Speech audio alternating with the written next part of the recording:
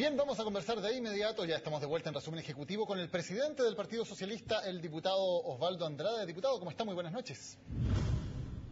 Muy bien, muchas gracias. Buenas noches. Diputado, le voy a hacer al revés la misma pregunta que le hice mm, recién al ministro de Hacienda. ¿Por qué es los bonos del año 2009 entregados por la presidenta Bachelet durante un año electoral eran una buena política según ustedes y en cambio este bono 2013 es populismo? Porque enfrentaban situaciones de crisis. Y esta, este bono de marzo no sé cuál es la crisis que enfrenta, salvo el desprestigio y la deterioro del gobierno. Quiero decirle algo, yo nunca me ha gustado como política pública los bonos. Lo dije antes, lo digo ahora, no tengo ningún remilgo en reiterarlo. Yo prefiero las políticas públicas que establecen ingresos permanentes para los que menos tienen. Por eso celebré tanto en el inicio del gobierno de la presidenta Bachelet el reajuste de las pensiones, que fue la primera medida que tomó a poco de instalarse en el gobierno. Los bonos no me gustaron, no me gustaban entonces ni me gustan ahora. ¿Le incomodó entonces que usted, que ha hecho era ministro en ese gobierno, eh, ese gobierno hubiera entregado un total de seis bonos? Me incomodó. Lo reconozco que lo asumí porque correspondía a una política destinada a enfrentar eh, crisis específicas y desde ese punto de vista lo acepté, pero no es parte de lo que es mi concepto de lo que deben ser los ingresos de los que menos tienen y particularmente los trabajadores. Diría que fue un error. No tengo ningún problema en decirlo. Perfecto. Con, toda, con esta misma sinceridad, eh, ¿considera entonces que fue un error de ese gobierno haber impulsado esos bonos?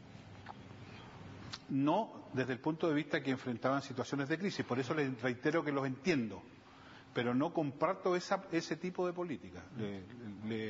no le estoy contestando al revés, le estoy contestando las tres veces lo mismo. Okay. Eh, ahora, eh, desde el gobierno se ha dicho que es mezquino. Ahora, lo que sí me llama la, lo que, perdón, lo que sí me llama la atención mucho, estaba hasta hace poco rato leyendo, que el señor Goldberg, el 4 de enero, declaraba ante un periodista en un medio de prensa que él estaba absolutamente en desacuerdo con los bonos, que era un problema que no le gustaba, que entrara en esta competencia que yo di tres y tú diste cuatro, etcétera, etcétera. Y el 13 de, y el 11 de marzo, o sea, en la fecha, lo celebra. Ese tipo de cambios me preocupan más, fíjese usted, sobre todo para alguien que aspira a ser presidente de la República. Tengo aquí las declaraciones, una y otra, para que las pueda corroborar. Eh, en el gobierno han dicho Yo prefiero en esto ser de una sola línea. Perfecto, diputado. Eh, en el gobierno han dicho que la oposición ha sido mezquina al no alegrarse por un bono que más allá de las circunstancias, evidentemente, para las personas que lo van a recibir es una ayuda importante en el mes de marzo. ¿No corresponde de todas formas alegrarse más allá de las diferencias políticas que puedan existir? Yo no tengo ningún problema en aprobarlo. Lo dije, lo he dicho todos estos días, es una buena noticia porque finalmente me interesa que a gente que tiene poco ingreso reciba ingreso y en eso nunca me voy a perder. Así que, pero no me pida que lo aplauda, porque creo que de parte del gobierno aquí hay una trampa. Le voy a decir por qué. Porque nosotros debiéramos estar hoy día debatiendo respecto al balance del gobierno a tres años de su gestión. Y lo que estamos hablando es de bono y de anticipo del reajuste del sector del ingreso mínimo. ¿Y por qué digo trampa? Porque el gobierno a través de una medida publicitaria ha soslayado la discusión respecto al balance de tres años de gestión. Y lo que estamos conversando, ya le digo, es lo que usted me acaba de preguntar, bonos y, bueno, todavía no hemos hablado del anticipo del reajuste del ingreso mínimo. Se lo voy a preguntar de inmediato. Tendríamos que coincidir entonces que el gobierno tuvo una operación política, una técnica política que fue exitosa entonces. No me cabe duda. Vea usted el resultado de lo que estamos hablando. Usted no me va a preguntar del balance, me está preguntando de estas cosas. Se lo voy a preguntar. Y respecto a la segunda medida también. Ah, muy bien. No, Lo desafié. Le voy a preguntar varias cosas. Hablemos ahora del sueldo. Le pido excusa, le pido excusa entonces. Del ingreso. Hablemos, ahora, del, del, reajuste del sueldo mínimo. Em, eh, diputado, eh, ¿ustedes van a aprobar este reajuste y les parece que, por ponerlo en sus mismos términos, es una buena noticia que el sueldo mínimo se reajuste hasta los 200 mil pesos al menos? es una buena noticia en tanto implica un aumento de los ingresos de los trabajadores. Sin embargo, también en esto tengo un par de observaciones que realizar. Ojo, yo lo voy a probar. Voy a luchar porque sea más, porque creo que hay condiciones para que sea más. Y voy a hacer un esfuerzo en esa dirección con buenos argumentos. ¿Qué es lo que me causa extrañeza? Que esta discusión la tuvimos eh, en la última debate parlamentario respecto al reajuste del ingreso mínimo. Y en aquella ocasión todo el mundo dio los mismos argumentos que da ahora, que teníamos un país sólido, con crecimiento, con pleno empleo, con inflación controlada, que éramos acreedor, no teníamos deuda externa. Entonces, lo que yo no entiendo ¿Por qué si estas mismas cifras y estas mismas consideraciones las teníamos hace seis, siete meses atrás, no aplicamos este mismo reajuste entonces? tengo perfecto derecho. ¿Sabe por qué me preocupa esto? Porque además durante seis o siete meses los trabajadores recibieron un ingreso que podría haber sido mayor. ¿Por qué no se hizo? Mi, mi, preocupación es que si esto no se hizo en su oportunidad es porque se declara ahora, cuando iniciamos la campaña electoral desde el gobierno. Entonces, con los ingresos de los trabajadores no se debe jugar. Si estaban las condiciones para haber aprobado este mismo reajuste que se propone ahora a mediados del año pasado, debiéramos lo hecho porque es digno preocuparse de verdad de los trabajadores y no aprovechar esta coyuntura para sacarle un provecho político electoral a esta situación. Sin perjuicio de eso, llegando el proyecto lo vamos a revisar, lo vamos a ver, que no le lleve letra chica porque otros proyectos ya la han tenido, ya lo descubrimos la vez pasada, pero créame que nuestra disposición es aprobar en tanto implica un mejoramiento de los ingresos de los trabajadores. Cuando usted fue ministro del Trabajo, diputado, una de sus frustraciones fue no haber podido convencer a Hacienda para que subiera más el sueldo mínimo. Mi, mi frustración más grande es no haber conseguido incorporar un proyecto de ley que estableciera la negociación colectiva. Permítame responderle de esa manera porque yo tengo un punto conceptual, doctrinario respecto de eso.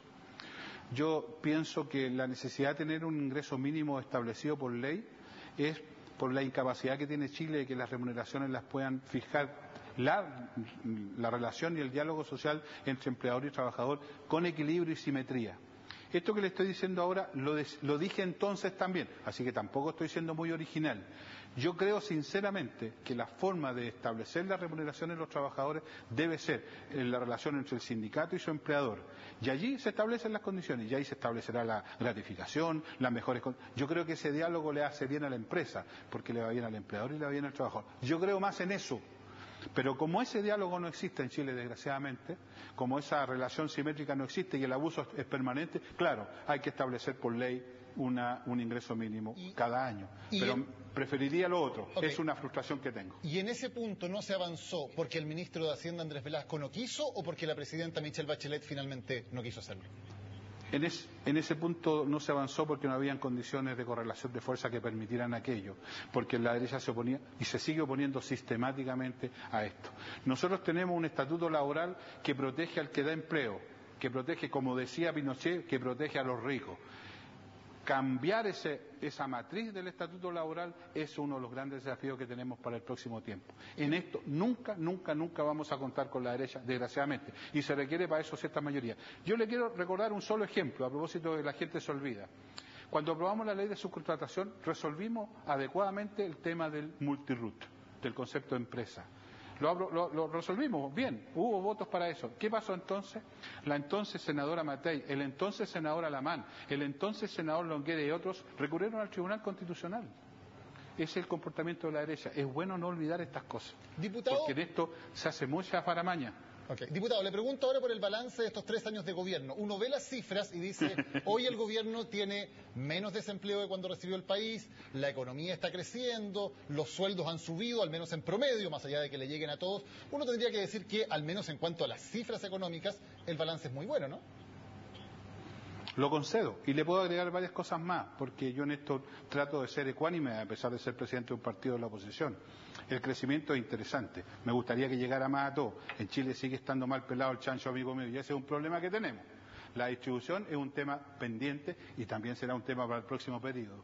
Efectivamente hay pleno empleo, o casi pleno empleo. Yo celebro la cifra, es bueno que la gente tenga trabajo. Me preocuparía si un poquito más en la calidad de este empleo. Hay mucho empleo tercerizado, mucho empleo familiar, mucho autoempleo, mucho empleo que tiene mucha precariedad y que dura poco.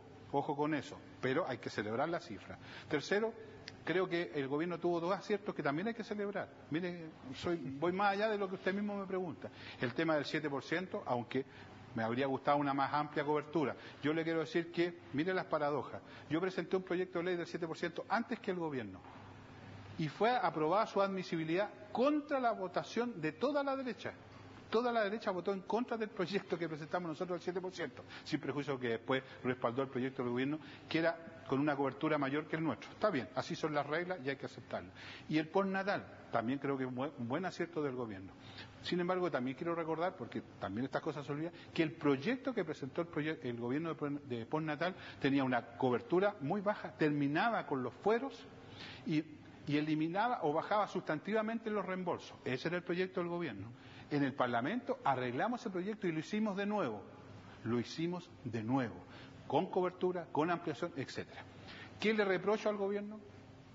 Para matizar y hacer un balance que tenga las dos cosas, este es el gobierno que va a ser recordado no por estas cosas que le acabo de decir yo. ¿Sabe por qué va a ser recordado? Va a ser recordado por el gobierno de la letra chica, del conflicto de interés y del desprestigio de las instituciones. Letra chica, porque en todos los proyectos hay que estar preocupado, ver con lupa los proyectos del gobierno, en todas va una cierta truchería. El conflicto de interés, que decir lo que acabamos de vivir en impuestos internos, y el desprestigio de las instituciones es brutal. CACEN, servicio electoral, eh, auge. los temas de la licitación en el Ministerio del Interior, etcétera, etcétera, etcétera. Sumando y restando, ¿qué nota le pone al gobierno? No, yo voy a votar. La mejor a los gobiernos no se les pone nota, a los gobiernos se los evalúa en las elecciones. Yo confío, como lo dicen todas las encuestas y todas las mediciones, que está con nota mala. Por algo la gente quiere cambiar y yo por lo menos voy a votar en su contra, porque eso es lo que me permite la democracia. Ponerle nota a este gobierno no sirve de nada. Lo que hay que hacer es votarlo en contra, cada vez que sea posible hacerlo. Y eso es lo que vamos a hacer en esta elección. ¿Votando por quién, diputado? ¿Por Michelle Bachelet?